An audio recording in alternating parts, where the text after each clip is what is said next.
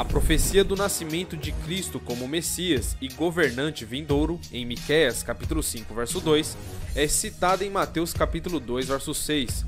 Isso é interessante, pois mostra que as pessoas na época de Cristo entenderam e aceitaram que Miqueias capítulo 5, verso 2 era uma profecia do Messias que viria. Outras passagens do Novo Testamento incluem referências a Miqueias capítulo 7, verso 6, em Mateus capítulo 10, verso 35 a 36, como também em Miqueias capítulo 7, verso 20, em paralelo com Lucas capítulo 1, versos 72 e 73.